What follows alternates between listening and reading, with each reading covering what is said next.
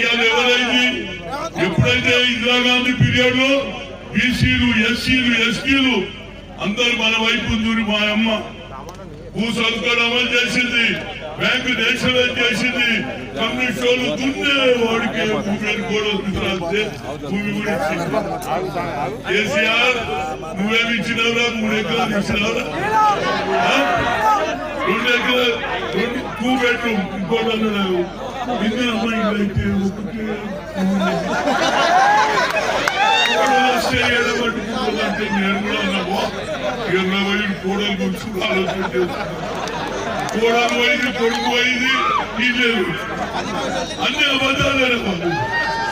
మాట్లాడితే అబద్ధం కానీ ఇప్పుడే మా బట్టి మంచిగా చెప్పిండు సురుకు పడ్డది అంటారు నిజంగా మా హలో వాళ్ళకి సురుకు పడ్డది కానీ మాకు కూడా సురుకు పడ్డది నిజం చెప్తుంది ఎందుకంటే ఇంత తక్కువ ఓట్లు వస్తాయి. రా బాబు మనం ఆలోచన చేసి పార్టీలో ఉన్నోనికే టికెట్ ఇవ్వాలి ఇతర పార్టీలతో వస్తే మా బట్టి సిఎల్పి అయితే పన్నెండు మంది ఎమ్మెల్యేలు వెళ్ళిపోయి కనుక హాయరాం గయారాం దుకాణం పనిచేయాలి.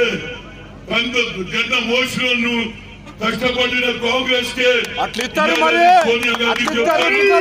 నేను ఇక్కడ ఎందుకంటే చేయాలి రేవంత్ రెడ్డిని సీఎం చేస్తే అట్లాంటి చేయాలి రేవంత్ చేయి, హయారాం గయారాం చేయాలి. జై. వినండి కేసీఆర్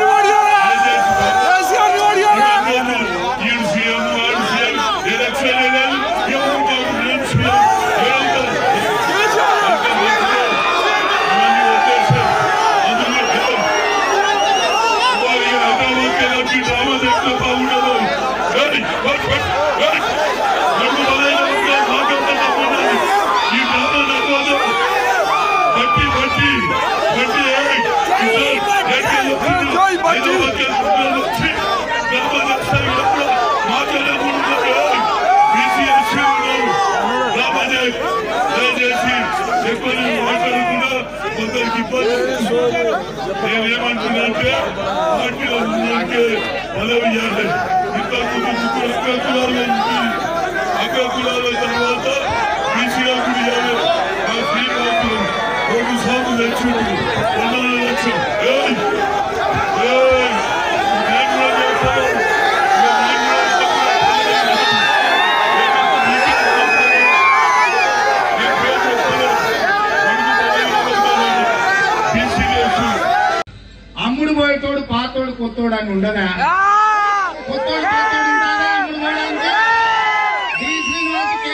ఏమన్నా కొత్తోళ్ళ?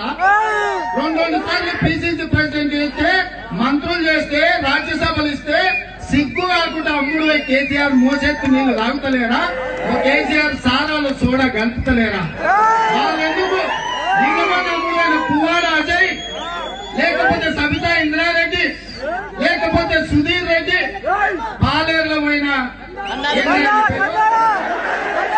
రెడ్డి వీళ్ళంతా పాత కాంగ్రెస్ వాళ్ళే కదా. ఈయన కూడా అమ్ముడు పోయింది కదా. కాబట్టి అమ్ముడు పోయేటోడు అమ్ముడు పోయేటోడు మనకి నీతి లేదు జాతి లేదు అభిమానం లేదు. అట్లాంటి వాళ్ళని ఏడున్నా ఏరి దొంగ పురుగులకు ఎరువుల మందు కొట్టినట్టు మందు కొట్టి ఏరేయాల్సిన అవసరం ఉన్నదని చెప్పి కాంగ్రెస్ పార్టీ కార్యకర్తలు విజ్ఞప్తి చేస్తున్నాం. ఇంకా ఇప్పుడు మంచి నాయకుడు మనకు మాణిక్ ఠాగూర్ వచ్చాడు. అందరినీ గుర్తుపట్టుకున్నాడు. టికెట్ ఇస్తే డిపాజిట్లు లేకుండా ఓడిపోయిన వాళ్ళు కాంగ్రెస్లో పెత్తనం చేసి పల్లకిలో కూర్చుంటే కూడా అందరినీ ఎవరి జగ ఎక్కడ ఉండాలో ఎవరు ఏ కుర్చీలో కూర్చోవాలో డిపాజిట్లు అయిన వాళ్ళు పెట్టడం ఇంకా కాంగ్రెస్లో నడవాలని చెప్పి మనీష్ ఠాగూర్ గారు చెప్పారు.